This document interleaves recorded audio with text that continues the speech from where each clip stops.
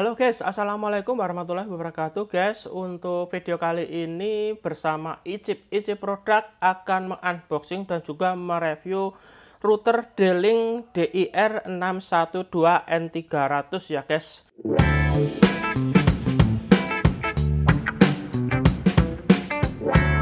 Dan sekarang routernya ini baru aja sampai kemarin.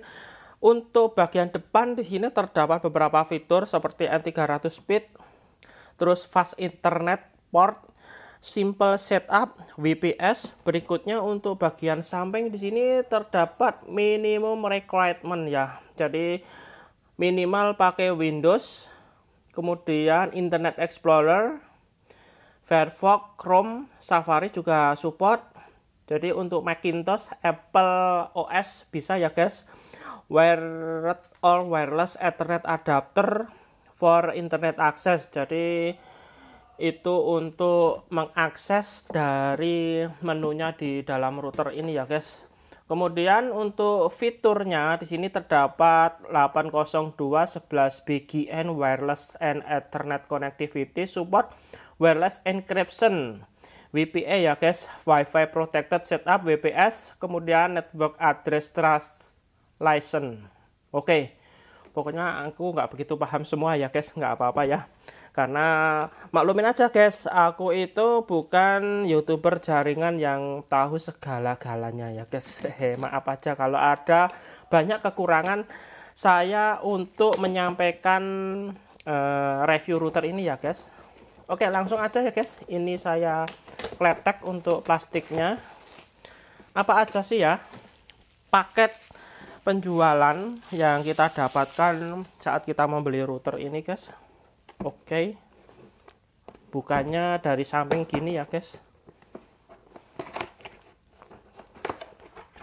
Oke. Uh berat. Us us. Ya seperti ini guys. Ini aku singkirin dulu. Yang pertama terdapat quick installation guide oke. Oke. Buku petunjuk pemasangan dan lain-lain. Oke selanjutnya di sini terdapat kartu garansi guys. Oke. Berikutnya terdapat adaptor. Adaptornya berapa volt ini guys? 12 volt kalau nggak salah. Berikutnya terdapat D-Link routernya seperti ini guys. Hanya dua antena. Ini katanya bisa WISP atau jadi repeater ya guys. Selanjutnya terdapat kabelan. Oke cuma ada itu aja guys untuk paket pembelian. Oke sekarang ngomongin masalah unitnya ya. Deskripsinya seperti ini guys. Untuk bagian atas di sini terdapat tulisan atau merek Deling ada terdapat logo power, wifi, connect ke internet, LAN 1, 2, 3, 4 cuma ada itu aja. Selanjutnya Delingnya ini cukup tipis ya di bagian sini guys. Oke untuk bagian belakang atau bawah di sini terdapat ventilasi udara yang cukup lega. Deling DIR 612 ini ada default router setting pakai HTTP 192.168.01 username-nya admin. Berikutnya di sini ada passwordnya juga untuk masuk ke akses router ini ya guys. Antenanya seperti ini guys. Dan bagian belakang di sini terdapat jack adaptor kemudian LAN-nya ada 4 1 2 3 4 ada one network kemudian ada tombol reset atau WPS hanya ada di sini. Ini kabarnya katanya bisa untuk nembak wifi ya. Dan saya penasaran apakah bisa? Oke langsung aja kita coba masuk ke menu routernya ya guys. Oke guys, sekarang kita masuk ke akses router ya dengan memasukkan HTTPS 192.168.0.1 langsung aja kita enter. Dan ini kebetulan untuk wifi-nya sudah terhubung yang memakai password yang sudah disediakan di belakang router deleng ini ya guys. Kemudian kalau untuk masuk ke akses routernya kita ketik aja admin.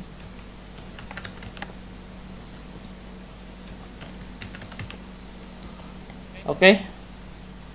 login sukses. Nah di sini kita sudah masuk ke router deleng DIR612 hardware I1 firmware V101 dan di sini untuk tampilan home atau berandanya seperti ini ada internet, dir dan connected client ya.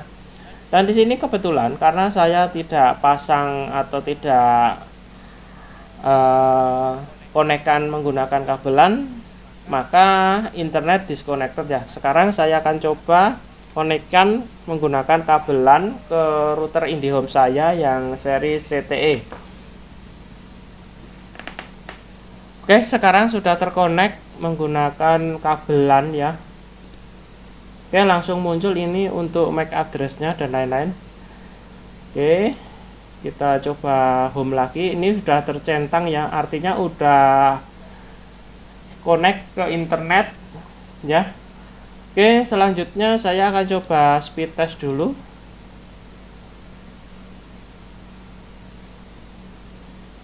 sini aku memakai IndiHome 30 Mbps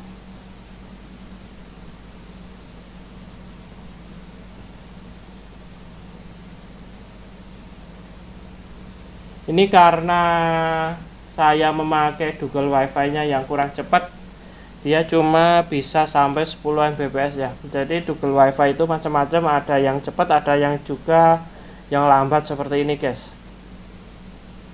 Ini kebetulan Google WiFi yang saya gunakan itu biasa untuk nangkep WiFi untuk STB TV digital. Jadi seperti ini guys. Jadi Google-nya itu kurang cepat. Oke yang terpenting bisa connect ke internet ya guys Oke sekarang kita masuk aja ke bagian setting. Di sini untuk setting itu terdapat wizard seperti ini guys. Nah seperti ini. Kita kembali lagi.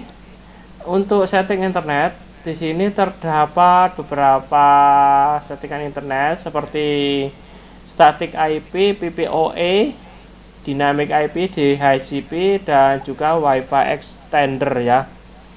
Oke, selanjutnya untuk bagian yang lain settingan wireless ini terdapat uh, kita ganti ini terdapat ya fitur untuk mengganti nama SSID kita nama WiFi kita dan juga passwordnya juga terdapat di sini untuk settingannya advance settingnya seperti ini guys. Jadi security modenya ini bisa non atau WPA WPA dua personal. Untuk WiFi channel bisa di auto atau yang sampai 13 kemudian untuk transmisi power juga bisa kita setting mau rendah sedengan atau yang tinggi ya. Jadi ini kalau high seperti ini untuk jangkauan yang lebih panjang atau luas ya. Selanjutnya untuk channel width di sini terdapat 20 MHz dan juga 40 MHz jadi di sini untuk di linknya itu bisa visible itu terlihat atau invisible tidak terlihat. Oke berikutnya untuk settingan network seperti ini guys. LAN IP seperti ini. Oke kita bisa advance setting uh, bla bla bla seperti ini ya guys. Oke selanjutnya ke feature ya feature firewall. Firewallnya seperti ini guys. Ada enable DMZ berikutnya untuk port forwarding juga tersedia. Ini saya juga kurang ngerti. Saya bukan youtuber jaringan ya. Cuma memberikan beberapa informasi tentang dealing uh, DIR 612 yang warna putih ini ya guys. Untuk dynamic DNS juga tersedia di sini. Go. Oke okay, selanjutnya untuk manajemen di sini untuk waktu bisa kita setting sesuai dengan zona waktu kita ya guys kalau kita berada di Indonesia ya Jakarta lah gitu ya guys. Makassar juga ada. Oke. Okay. Oke Singapura aja sudah nggak apa-apalah sistem lock di sini juga tersedia. Berikutnya untuk sistem admin kita bisa ganti password ya untuk masuk ke akses router ini selanjutnya juga tersedia restore atau pengaturan ke pabrik gitu ya guys ya. Juga tersedia. Berikutnya tersedia ACS request setting dan lain-lain. Ini apa saya juga nggak begitu paham. Selanjutnya untuk upgrade ya guys. Untuk upgrade-nya di sini kita bisa upgrade ya firmware ini jika cocok maka upgrade-nya berhasil. Ini sayangnya hanya bisa untuk manual ya. Saya coba upgrade ya.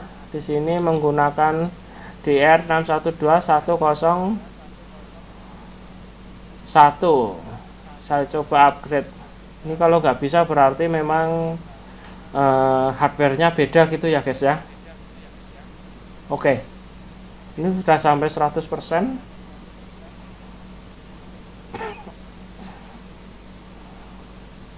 ini kalau nggak berubah firmware-nya berarti dia nggak bisa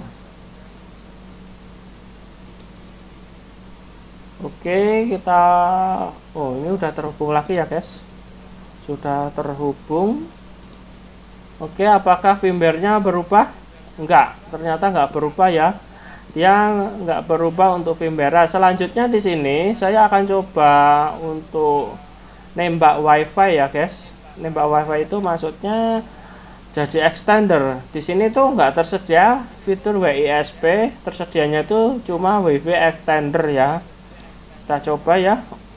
Di sini sedang men-scan atau mencari wifi wifi dari sekitar rumah saya ya guys. Dan di sini memang untuk delingnya ini sebenarnya lebih pegah ya daripada uh, tenda yang kemarin saya review ya guys. Tenda F3 ini ada badut asmi dan lain-lain. Ini sudah ada di sini. Sementara yang tenda kemarin itu enggak terscan ya di sini. Selanjutnya ada lagi nih khusus orang pintar Oppo. Nah ini semuanya ke scan yang tenda itu enggak terscan sama sekali ya guys ya. Jadi ini lebih peka daripada yang deling ini lebih peka ya yang deling ini lebih peka daripada yang tenda gitu ya maksud saya. Oke selanjutnya saya coba untuk menembak wifi milik saya yang Mister Gas ini tidak saya kunci ya, tidak saya sandi, maka tidak bisa atau tidak tersedia untuk memasukkan password jika kita menembak wifi yang terpassword seperti ini. Maka suruh memasukkan password oke saya coba yang hmm, ini Mister Gas ini bisa enggak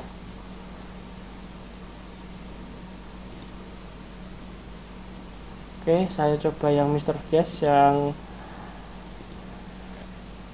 harus memasukkan password.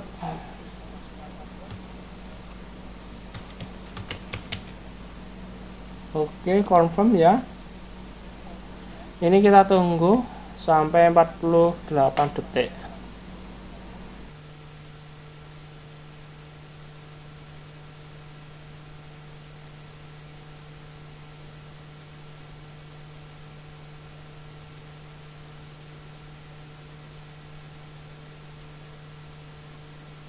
Oke, tidak dapat tersambung ternyata ya, guys. Hmm, hmm, hmm, hmm. No internet. Ini sebenarnya nggak bisa ya. Oke, saya coba lagi.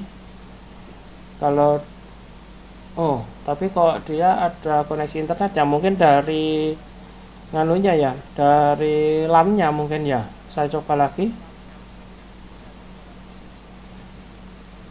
kayaknya dari lannya ini guys bukan dari saya nembak ya tapi dia nggak nggak bisa masuk ke akses router ya guys. Ini sudah terhubung ke LAN ya. Oh langsung error ya di sini. Oke sekarang saya coba cabut untuk LAN-nya ya.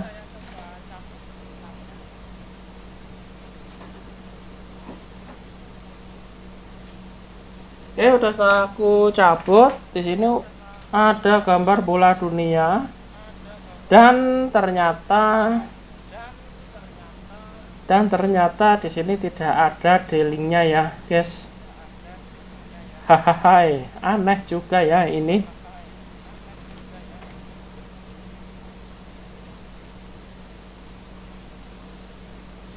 Oke dealingnya ada sekarang connecting. Apakah dia bisa untuk nembak wifi? Karena tadi sudah saya coba ke wifi extender ya. Sayangnya untuk fitur WISP nggak ada extender sama WISP itu sebenarnya sama nggak sih? Saya juga kurang begitu tahu ya.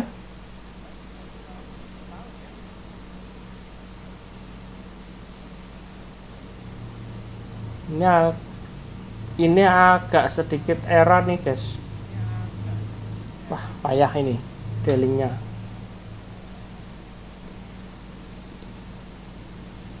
connect kita coba connect